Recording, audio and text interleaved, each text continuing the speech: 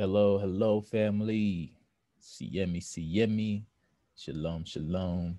Salama, salama to all my brothers and sisters out there, wherever you are in the world. Um, this is a very interesting topic I'm going to be speaking about today uh, and vital as well um, to our knowledge of the truth as a people and, and, and the way the world is working. Number one, you know, as we look at our history, we see certain things that have that have happened to us as a people, and you know, it must bring you to question. You know, did slash do they really fear him? Did or do they really fear him? And for those of you who've seen my last uh, video, you know it was inspired by uh, Proverbs 8, verse 13, which says, The fear of the Father is to hate evil. The fear of the Father is to hate evil. So, for all those people who say they fear our Heavenly Father, they fear God or the Creator, right? It says, well, to fear Him is to hate evil. Hence, while this uh, topic today we're going to be discussing is titled, Did slash Do They Really fear him. So with that being said, we're gonna I'm gonna play a video um, for you to check out just to give you some uh, to give you some insight on the mentality of of those that are oppressing us. Sub-Saharan Africa has been fundamental to the global prosperity of the advanced countries. Okay, and Africa had a role to play it has a role as a raw material producer. We will not allow sub-Saharan Africa to escape that. Okay, we do everything to keep sub-Saharan Africa where it is, also impoverished. It's absolutely vital for the prosperity of everyone else. So let's get clear about that. Okay, and this means all the economic structures all the global institutions and the economics we teach everyone is all designed to keep Africa exactly where it is. And whether it is Europe or US or now China, it's always the same. We need Africa to be impoverished because we need those raw materials and we need them dirt cheap. Okay, so that's the message. It doesn't mean to say that there's nothing Africans can do. Of course there is. Okay, but this is the opposition that they're fighting. This is what it's about. Because if Africa does do something different, I assure you, living standards of all those in Europe and North America and Asia is going to fall. Okay? And that is a big price to pay. I assure you that the West is not going to allow that without a big fight. Okay, so this is what it's fundamentally about. Uh, what I want to show you is how these structures are operating. It's just 20 minutes, so we can't do very much, but just to give you a little bit of an idea. And why I keep the ideology part there is because we are part of the producers of ideology at universities and academic institutions, we are complicit in this whole enterprise. Okay, so the job of many Western academics is to convince Africans they have to keep doing what they're doing. Okay, and to show them it's your fault that you're poor. It's not our fault. It's your fault that you're poor. You know, so this is what we do in academic institutions, and I, I want to show that as well me just start. This is what it's basically about, so you, you know what it's about. But I want to just show you the extent to which Africa is specializing in the production of raw materials and basic agricultural goods. Um, we know the basic forces that have caused this underdevelopment. We know it's colonization. I will not discuss that very much because my colleague speaker is going to go into some aspects of this, but I do want to discuss the global economic structures, the global financial institutions, and economic ideology, briefly, to give you a flavor of those. let me start with this. You can't really see it so easily, but if those of you who are interested, you want the PowerPoint, I'm sure we can make it available to you. Uh, but the thing that you really need to see is the top line. Okay, and the extent of dependency is captured by this statistic at the top. Okay, and you compare it with all other income groups, and what you see is essentially in that one statistic how dependent sub-Saharan Africa is on raw material production. Okay, this is the very heart of what makes sub-Saharan Africa beat. Okay, here, just to have a look at one very important additional statistic with all this export coming from sub-Saharan Africa, how much does sub-Saharan Africa account for in terms of global trade value? value? We know there are vast resources coming from there, but look at the bottom line in terms of global trade value. Look at that. 0.5%, 1975, 0.95% going down to 0.1, to 0.1, meaning that with all these vast resources being produced, how much are they getting for it? Nothing nothing. This is a very significant piece of data. Then I just want to show you what has happened to sub-Saharan Africa, because what we know, what we know, and from all studies, no country ever develops without manufacturing. Okay, producing raw materials will not take you anywhere. Producing basic agricultural goods will not take you anywhere. And let's have a look at how much manufacturing activity takes place in sub-Saharan Africa. We can look over the last 15 odd years, 15, 20 years. And we see manufacturing has actually declined as a percentage of the total. This is percentages of total production in sub-Saharan Africa. How much of it is accounted for by manufacturing? So this figure here is 17% of the total.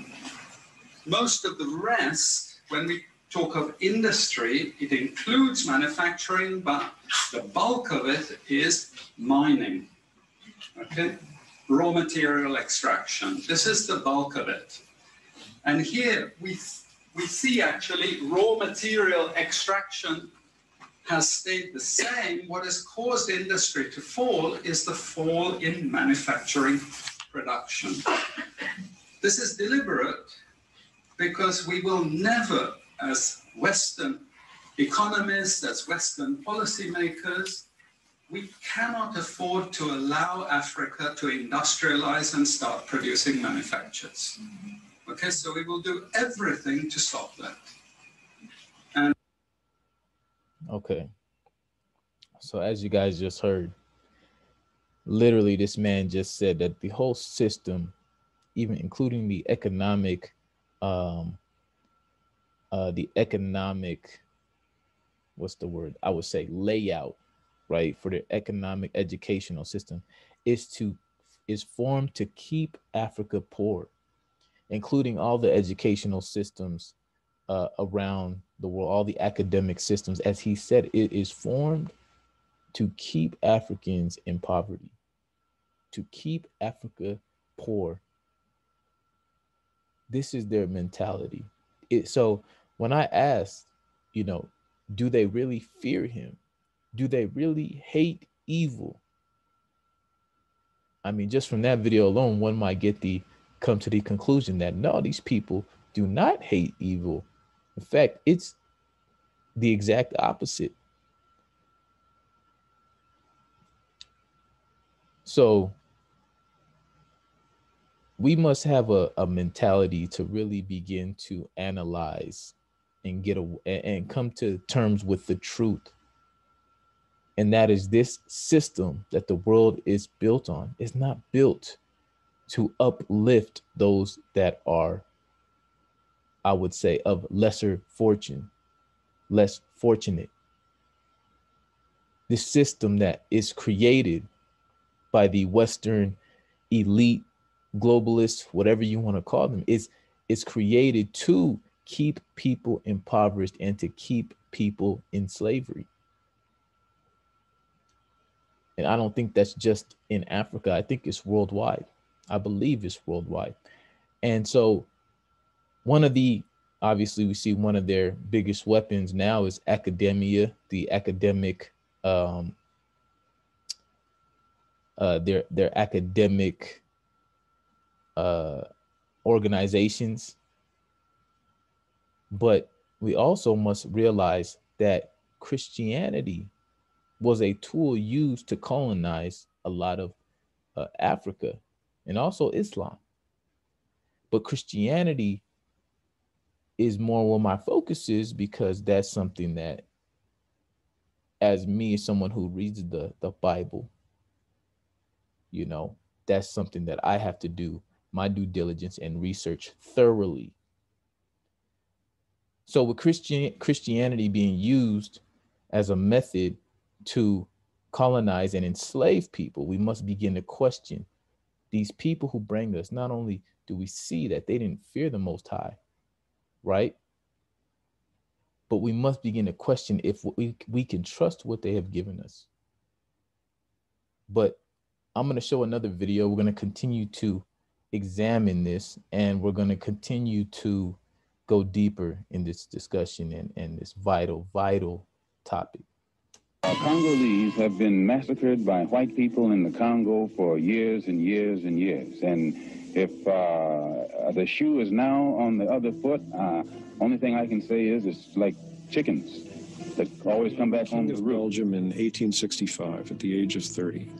Uh, enormously shrewd, enormously greedy, enormously ambitious, uh, and with an absolutely brilliant sense of public relations.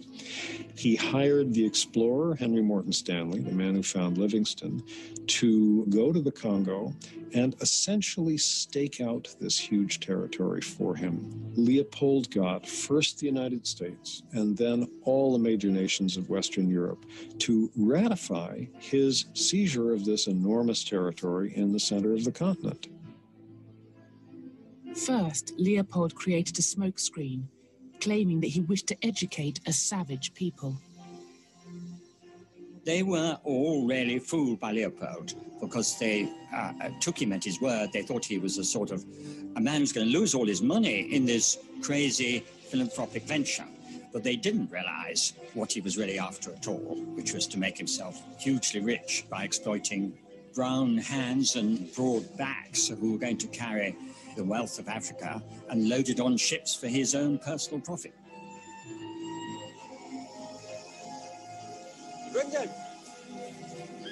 Extreme violence was employed to impose Leopold's dominion. The right hands of those who failed to meet rubber quotas were severed. Even young children were not spared.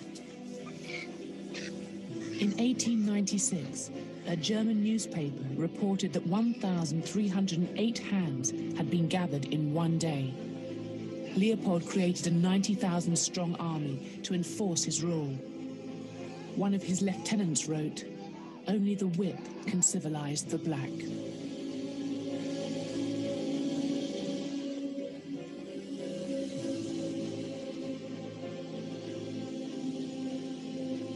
They would go into village after village the army would seize the women of the village and hold them hostage in order to force the men of each village to go into the forest and gather a monthly quota of wild rubber.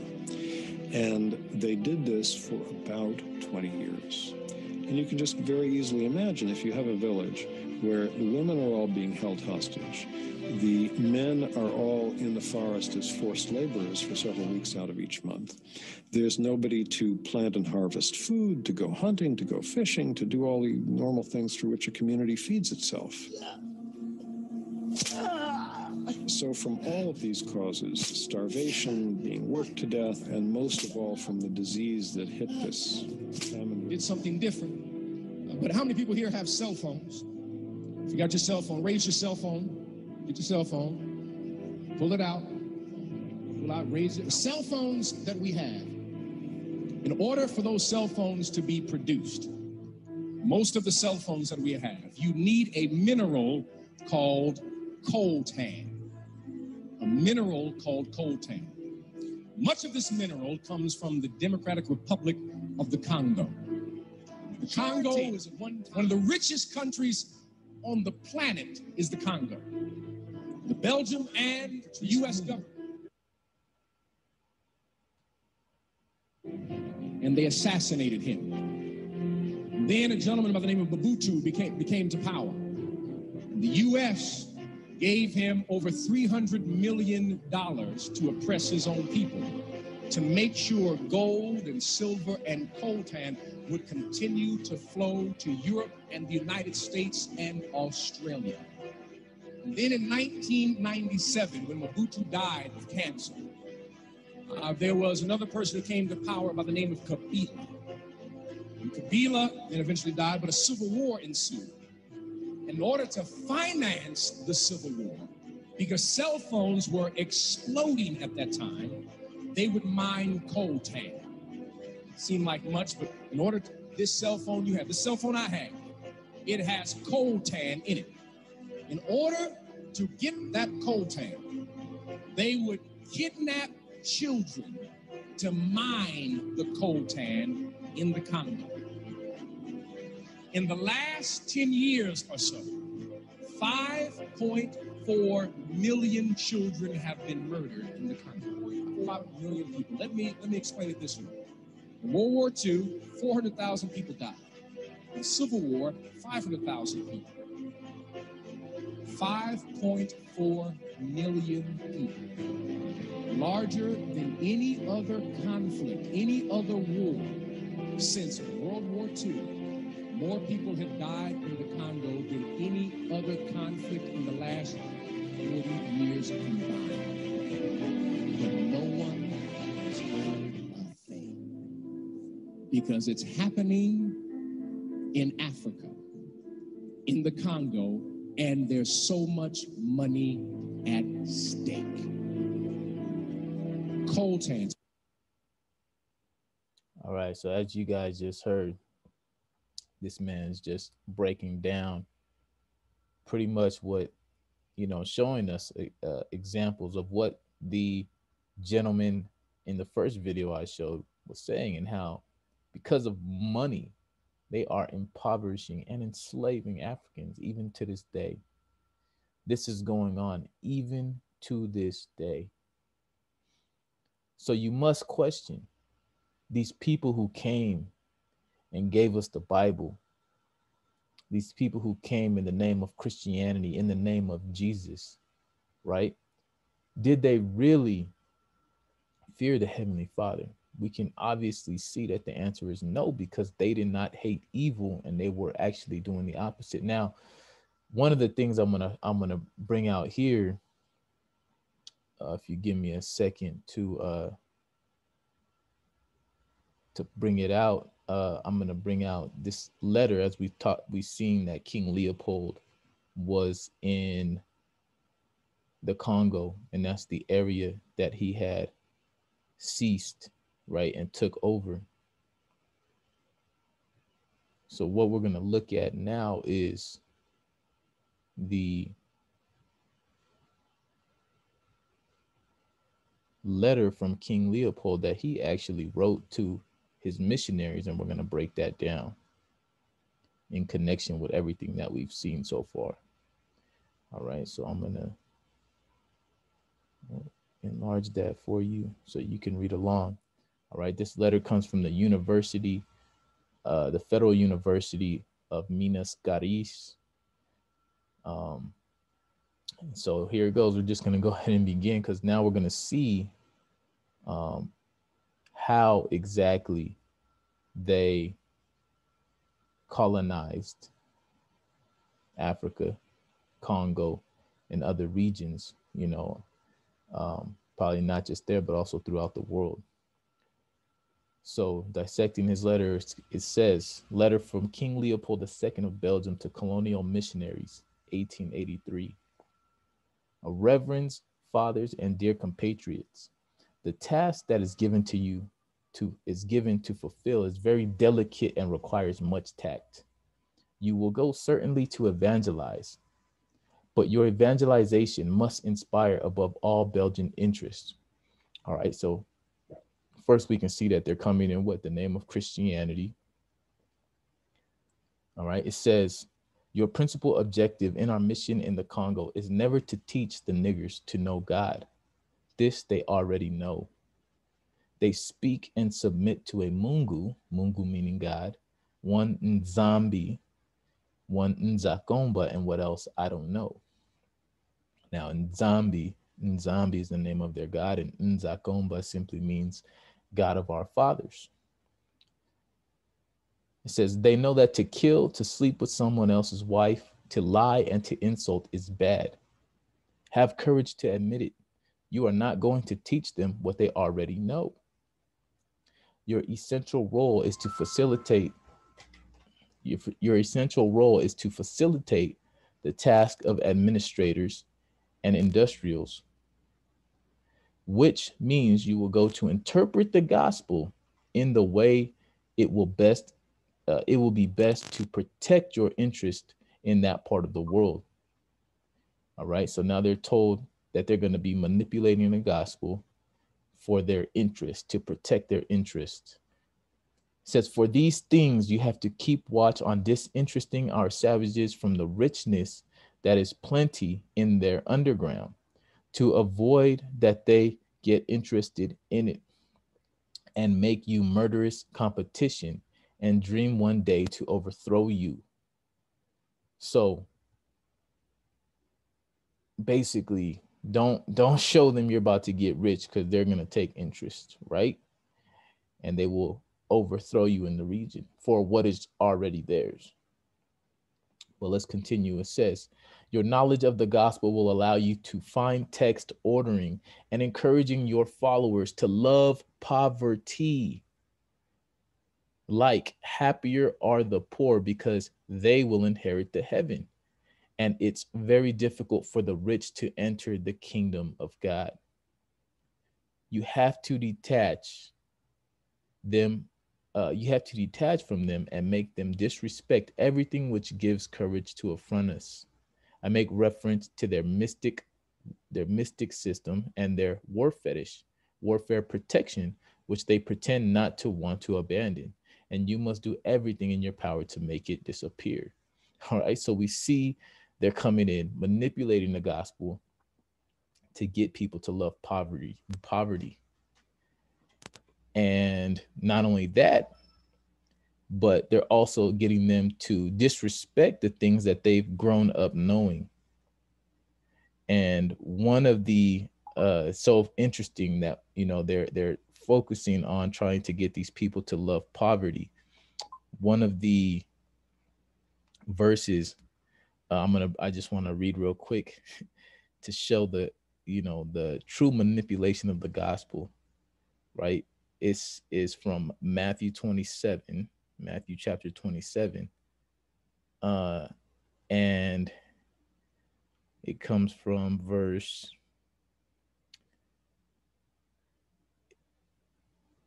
it comes from verse 57 it says when the even was come right this was after the messiah was supposedly killed on the cross right and he died and it says that when the even was come, there was a rich man of Arimathea named Joseph, who also himself was Jesus or Yesaiah's disciple. He went to Pilate and begged for the body. Then Pilate commanded the body to be delivered. So this man's begging for the body of the Messiah, right?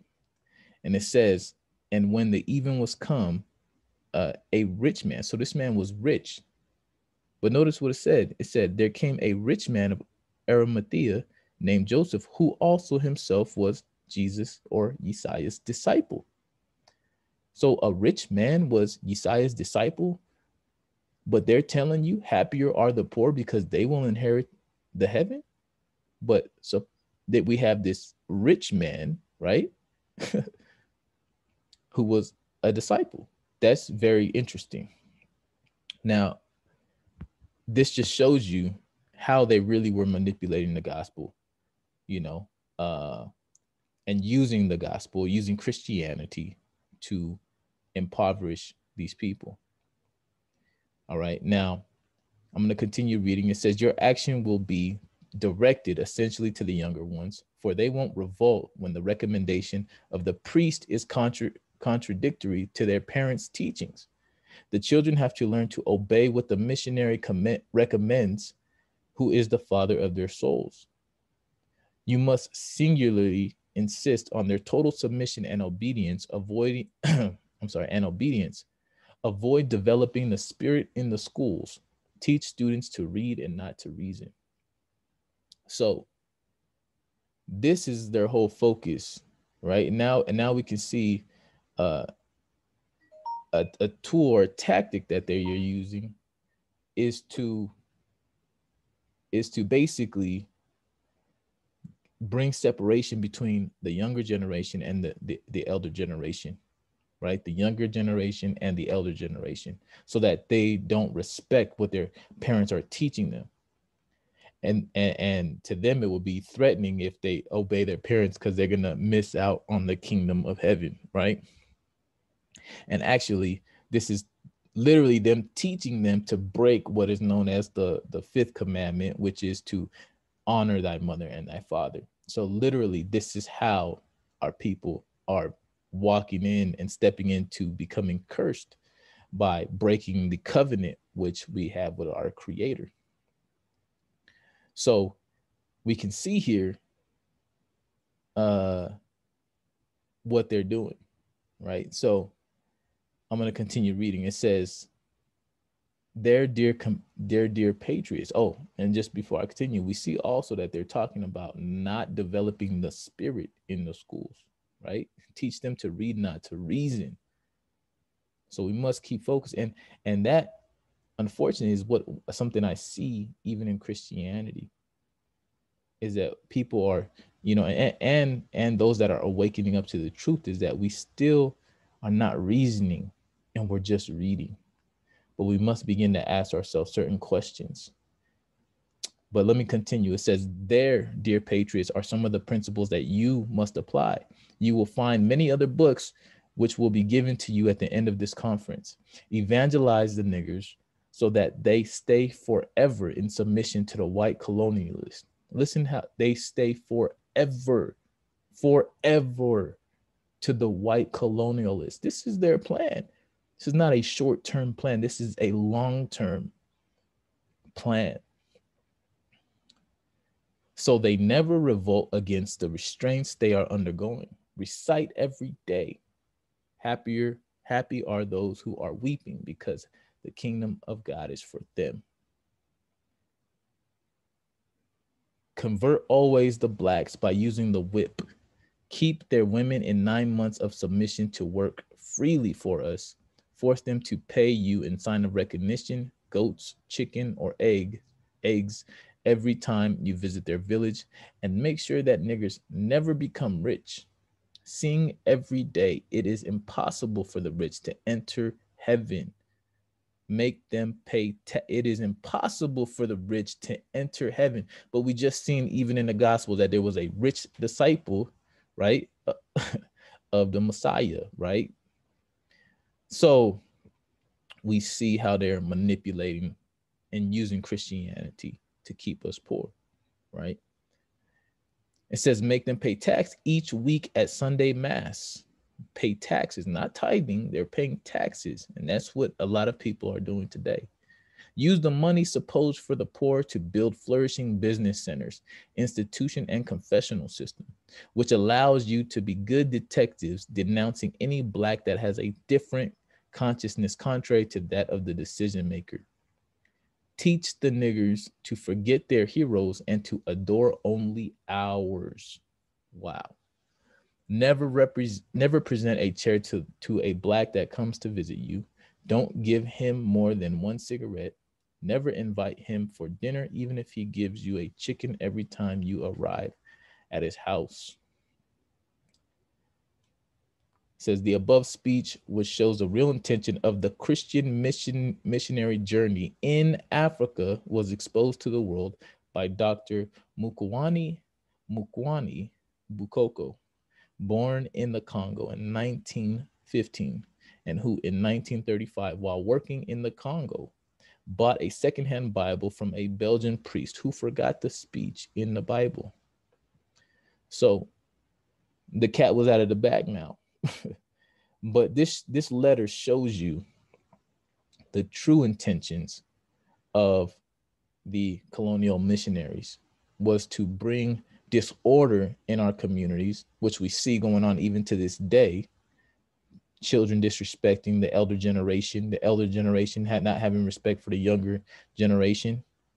There's no unity, not having good guidance and guide, you know, those to to to give us wisdom and instruction right and we're still being enslaved even to this day so this really must make you question you know. This really must make you question. When we talk about do they fear the heavenly father? Absolutely not. They do not fear him because they do not hate evil. In fact, they are doing the exact opposite of evil and have been doing the exact opposite of evil for a very, very, very long time to us as a people. We've experienced some of the most horrific evils that this world has ever seen. So we cannot say that they have given us truth and that they have feared the Father in their hate for evil, even to this day. They have never feared the Father because they have never hated evil. And now I know that there are some, you know, I know it seems as if um just specifically speaking on white people. And it's not because I know not all white people are evil. I know not all white people have a, a, a murderous heart in them. I know that for a fact. But what we've experienced in this world, in this life, there's a system that is set up. There is a system that is set up that is based on evil and wickedness. So we must really be questioning questioning that. And don't be fooled, you know, by color. The spirit of evil and corruption does not have a color boundary. Why do I say that? Here is a picture of Black Arab slave traders who had their hands involved in the enslavement of the Bantu people, those that were the chosen people of the Most High, those that were in the sub Saharan Africa region, who had an expansive kingdom that was the kingdom of Israel or the kingdom of Isolele, the kingdom of Judah, the kingdom of Yaoundé. And they also, the Black Arabs also had their part to play in it. So in this time, we must question like these things that they gave us Christianity, handing us a Bible. How deep does the deception go? how deep does the deception go? We, as the Bantu people, need to begin to really understand who we are and come to the knowledge of the truth and break away from all forms of religion. Religion, not, not knowing and fearing our creator. There's a difference between knowing and fearing our creator and being in a religion. But we must get back to the truth and we must understand that we ourselves have to repent and turn back to the Father in truth and in spirit.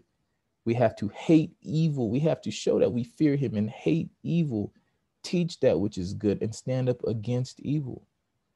And trust in him. Trust that he will be our shield. He is our shield, having a spiritual relationship, knowing that you are always protected by him. And we must get back to our sense of community, which they have taken from us which is why I will continue to be pushing this philosophy that comes from the Bantu people called Ubuntu or said Ubuntu, meaning I am because we are. We are because I am. The solution begins with each one of us committing ourselves to live for our Heavenly Father and to live for one another. We must be corrupt free from all forms of evil and hate evil and stand up against all forms of evil and corruption. Money can become worthless, but corruption free houses, communities, and nations will always be priceless.